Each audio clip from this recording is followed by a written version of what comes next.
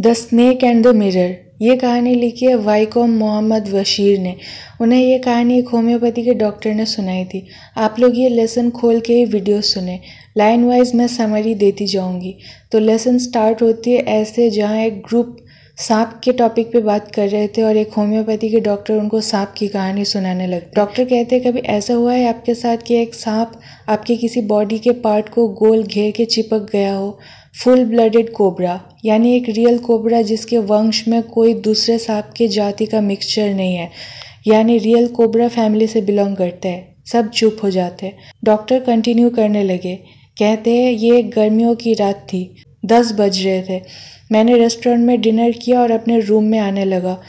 दरवाज़ा खोलते ही ऊपर से एक आवाज़ आई। ये आवाज़ जानी पहचानी है।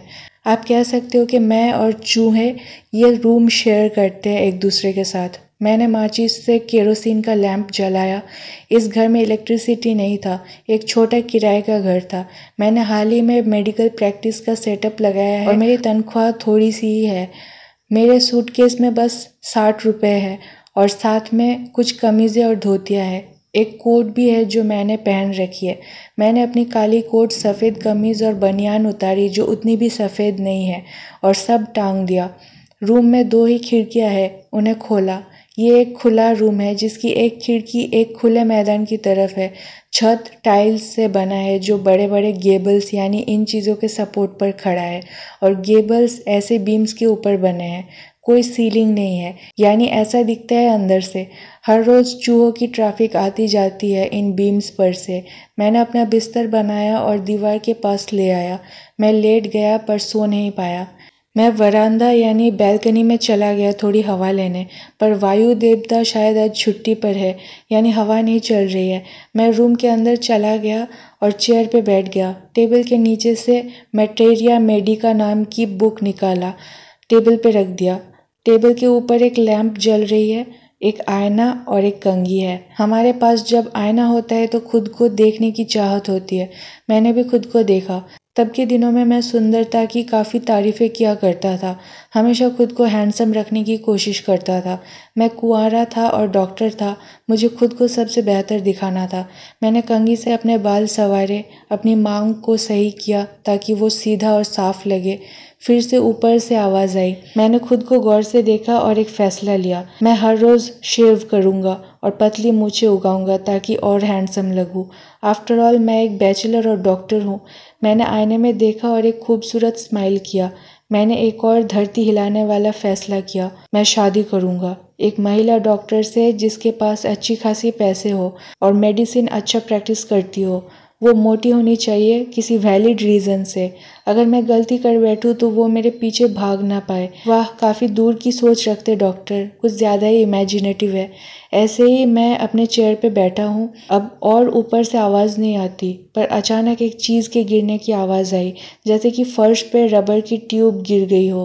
पर ऑब्वियसली डरने की कोई बात नहीं। हाँ सही कहा, रबर की ट्यूब ही तो गिरी है फुल ब्लडेड रबर की ट्यूब। फिर भी मैं पीछे मुड़ा मुड़ा ही था कि एक मोटा सांप चेयर पे रेंगते हुए मेरे कंधे पे गिर गया। सांप का मेरे ऊपर गिरना और मेरा मुड़ना एक साथ हुआ।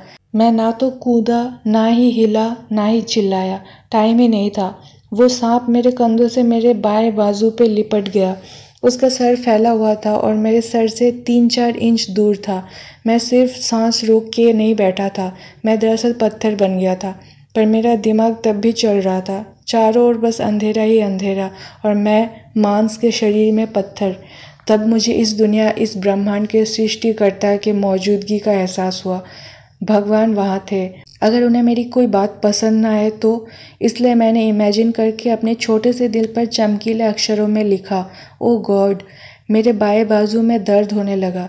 जैसे कि कोई मोटा भारी रॉड। नहीं पिघले हुए आग से बनी रॉड धीरे धीरे पर ज़बरदस्त तरीके से मेरे बाजू को पीस रहा है। मेरे हाथों में और ताकत नहीं रही। मैं अगर थोड़ा भी हिला तो सांप डस लेगा। मौत मुझसे चार इंच दूरी पर है। अगर ऐसा हुआ तो कौन सी दवाई लेनी होगी? रूम में कोई दवाई नहीं है। मैं हूँ तो आखिर एक गरीब, बेवकूफ़ डॉक्टर। मैं अपने खतरे को भूल के खुद पे हंसने लगा अंदर ही अंदर। लगता है भगवान मुझसे खुश हुए। सांप अपना सर घुमा लिया। वो अपने रिफ्लेक्शन आईने में देखने लगा। मैं ऐसा नहीं कह रहा कि ये पहला सांप है जो खुद को आईने में देख रहा होगा, पर फ़िलहाल ये वाला सांप देख रहा है। क्या ये खुद की खूबसूरती को निहार रहा है? क्या ये कोई इम्पोर्टेंट फैसला ले रहा है? जैसे कि मूछे उगाना आई शेडो या मस्कारा लगाना, या अपने सर पे सिंदूर लगाना। भरमिलियन मतलब सिंदूर। मुझे अभी तक नहीं पता है कि सांप मेल है या फीमेल कभी जान भी नहीं पाऊँगा। सांप मेरे बाजू को छोड़कर मेरे गोद पर रेंगते हुए टेबल पे उस आईने के पास चला जाता है। लगता है उसे अपनी रिफ्लेक्शन पास से देखनी थी। I was no mere image cut in granite I was no mere मतलब मैं बस एक। मेयर मतलब बस या सिर्फ़। ग्रेनाइट मतलब पत्थर। इमेज कट इन ग्रेनाइट मतलब पत्थर की मूर्ति नहीं रहा। यानी पूरा बोला जाए तो मैं अब बस एक पत्थर की मूर्ति नहीं रहा। मैं अचानक खून मांस का आदमी बन गया। वहाँ से सांस दबा के उठ गया। वहाँ से वरांदा के दरवाजे से निकल गया और अपनी जान लेके भाग गया। कहानी सुनते हुए सब चैन की सांस लेते हैं। कोई पूछता है, डॉक्टर, क्या आपकी वाइफ मोटी है? डॉक्टर कहते हैं, नहीं। भगवान को कुछ और ही मंजूर था। मेरी वाइफ दुबली पतली है और दौड़ना तो उसको गॉड गिफ्टेड है। किसी ने पूछा कि जब आप भागे, तब क्या सांप ने आपको फॉलो किया? डॉक्टर कहते हैं, मैं भागता गया और अपने दोस्त के घर पहुँचा। अपने पूरे बॉडी पे तेल लगाया और नहा लिया। धुले कपड़े पहन लिए। अगले सुबह साढ़े आठ बजे मैं अपने फ्रेंड और एक दो और लोगों को उस रूम ले गया, वहाँ से अपनी चीज़ें निकालने के लिए, पर देखा कि मेरे पास ज़्यादा चीज़ें है ही नहीं ले जाने को। कोई चोर लूट पाट करके ले गया।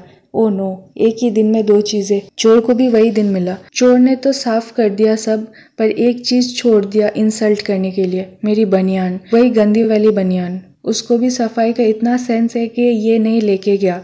वो रास्कल इसे ले जाता, साबुन और पानी से धो सकता था। यानी डॉक्टर को चोरी का दुख कम, बनियान की इंसल्ट ज़्यादा लगी। किसी ने पूछा, आपने वो सांप को देखा? डॉक्टर कहते हैं, नहीं देखा उसके बाद से। वो एक सांप था जो कि खुद के ही सुंदरता से मोहित हो गया। बेसिकली ये कॉमेडी स्टोरी है, जिसे राइटर ने पूरे ह्यूमर के साथ लिखा है। So moral of the lesson मुश्किल सिचुएशंस में पेशेंस रखना, तभी ज़िंदा बच पाओगे।